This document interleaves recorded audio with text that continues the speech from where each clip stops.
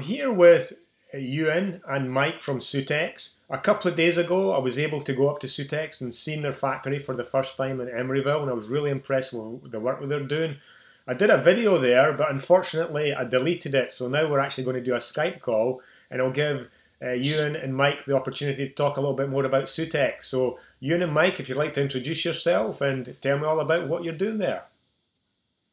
Hey, I'm Michael. And Ewan and we're developing the next generation of medical exoskeletons to help push the industry forward for mobility.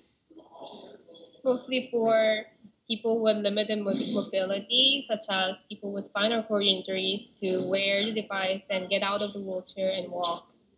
So we're trying to develop a device that's really accessible on all levels, both in terms of cost, in terms of mass, in terms of agility, and we're trying to develop a new tool that uh, that anybody can learn quickly. So how so long? We, so uh, so Michael, how long has the company been going?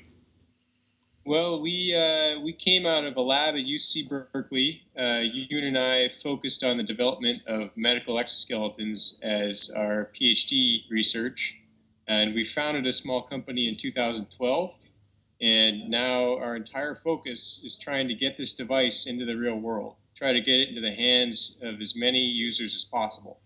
And what's your main focus right now? So right now we are focusing on our preparations for FDA clinical study, so we can bring this device into the market with after doing a lot of safety testing with real users. Okay. And what's the product called again? It's called Phoenix. Okay. And if you can, if you can maybe tell me a little bit more about uh, how you've been developing Phoenix and what your expectations are with the product. So we've been trying to develop the device with as much input from real users as possible. Mm-hmm. Every step along the way, uh, this this device has been in the hands of um, many people, and we've been taking their feedback and, and pushing it directly into the the development. Okay. And so next, we're next... expecting something that uh, that hopefully is really natural, really easy to, to learn and use, and um, we we'd love to get as many people involved in the project as possible. Okay. And following this interview, we're actually going to have Steve on this video as well, and he'll be talking about how he's used the product and he how exciting he finds the product too. You also mentioned about getting people involved in using the product. How are you going about doing that? So we're about to start a, a small scale trial with um, a, a, group of um, new test pilots. And um, you can get involved with us through our website. If you go to suitx.com, uh, there is a way to, to fill in your information as somebody who's interested in, in becoming a test pilot. Yeah, or someone else can fill that out for for their family or friends and that application comes to me and a couple other people in the company and we evaluate the case and and like invite them to show our device and let them try our device and we learn from that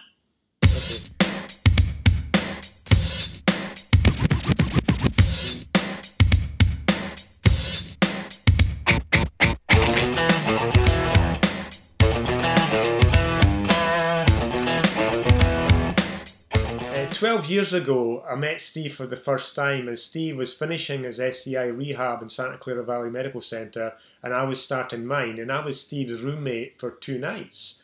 Uh, about a month ago, I bumped into Steve for the first time in 12 years and I was really impressed and also proud of the work he was doing with suitX. So what I'd like Steve to do now is just talk a little bit about himself, give a brief introduction, and tell us about some of the fantastic work he's doing with suitX. So over to you, Steve. Thanks, Nick. Uh, so yeah, my name is Steven Sanchez. I've been paralyzed now for 12 years, as Nick was saying. Uh, and since then, uh, I have been a complete injury, so not able to walk or no recovery in terms of being able to you know have functionality again. So walking for me really takes obviously either a lot of effort on my end or I need a robotic exoskeleton suit. Steve, what was the level of your injury again? Uh, the level of injury I have is a T9, T10 level of injury, and that's a complete injury. Uh, but yeah, so I'm working. I've been working with uh, suitX now for about four years. Uh, I started with them in the laboratory at University of California, Berkeley, um, to help prove PhD theses and get the device, you know, somewhat more capable of doing things. Uh, and now, four years later, we the company is a large larger company now and we've traveled around the world i've been able to walk on very iconic uh, landmarks like the great wall of china the vatican city um, the Colosseum of Rome. it's been quite a ride being with them and helping them uh, basically make this device to be able to give it to everybody. Uh, and I do truly see this giving, you know, being able to be used by everybody. And I mean everybody in a sense that even able-bodied people or children or, you know, including everybody in this. And you know the work that they've been doing with me they've been able to take that work and scale it to a smaller model and give it to a younger person a child mm-hmm. and be able to start rehab at a much much uh, earlier age in life which is going to be a huge huge deal once we really start or once we are really able to just start giving these to, to more children and seeing what their progress is going to be like and what their lives will end up being like once you know once they're adults. Yeah. So, Steve, what do you like about the actual exos- exoskeleton? How does it work for you, and what do you like about it? The suitX device. Uh, so, suitX has is the company name. Uh, the Phoenix is the actual device that I use. That's the uh, medical device that they sell or going to sell. The device is extremely lightweight. Uh, it can be put on in my own wheelchair, so I do not have to move to another chair or another seat just to get into this device. Uh, but also, mainly, it, it's getting you up and walking and not sitting down and having you um, relieve that pressure that you need that you need to because sitting is is really bad for the body. You either are confined to laying down or just pressure relieving by picking yourself up, which really isn't the greatest you know solution at all. And I'm glad that they're taking an approach to be able to make a device that somebody can wear in their wheelchair, somebody can use it throughout the day and not have to have you know a hundred pound suit sitting in his chair that you're never going to really ever use but more so that now once you know when you really want that relief you can put on the suit wear it for five minutes and take it back off and go back to doing your business which the other suits don't even offer that currently right now. Yeah, that's cool, Steve. And is there any videos of, about this suit or any place people can go to check this out? Oh yes, there's the website. We have a website called suitx.com, and there is a couple pictures and some. I think there is a now a video that is linked on there, um, but also on YouTube uh, is a lot of stuff. We have a couple of videos on YouTube with. Um, I think it's called Berkeley Robotics. Is the okay the the name tag, or you can just search UC Berkeley uh, exoskeleton devices and it'll pop up. Um, I, I think I've seen a, one of these videos. I'm definitely going to check out more because the video I saw was pretty cool, and I think you were even playing soccer on that video.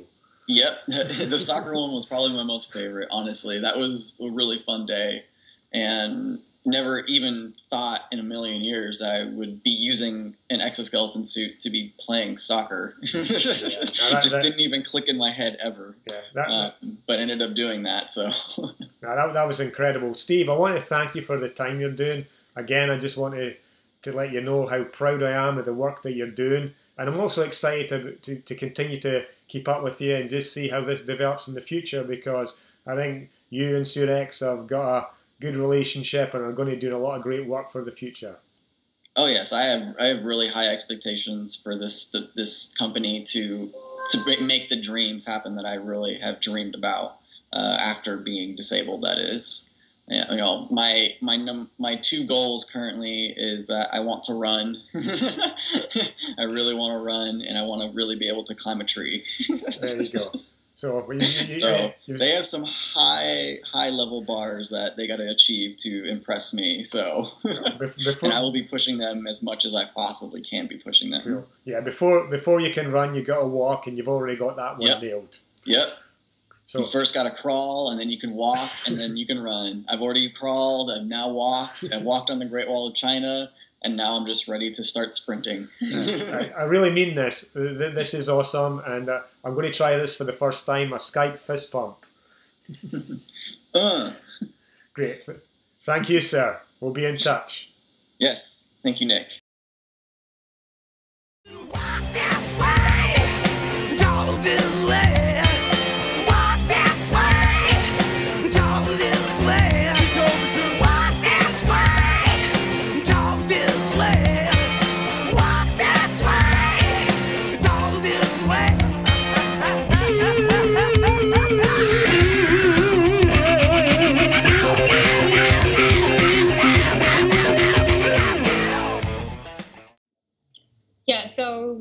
Envision that mini study, mini uh, small scale clinical study happening within the next few months. And we will do a bigger scale clinical study in January throughout April of 2017. And then we we expect our FDA clearance uh, later in 2017, like September in 2017. So by that time, we'll have our device on the market. But meanwhile, we are also developing a pediatric version of this device. So more people with different types of disability, unlimited mobility from different age can use our device and benefit from that. Okay, good. Um, Michael, I think you mentioned about a good place to go uh, if you wanted to find out about more about suitX. Can you maybe just explain you maybe your website or some other uh, sources of information about suitX? Yeah, so the easiest way to find us is uh, suitx.com. That's S U I T X, uh, just like the sign up in the background. Yeah. And um, there's a, an application, uh, there's a, a, link on the front page. It says Become a Test Pilot.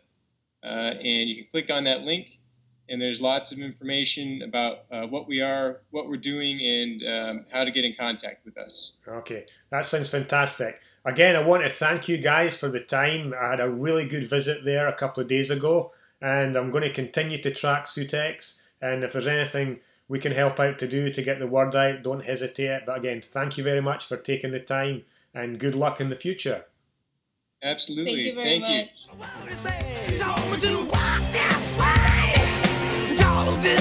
You.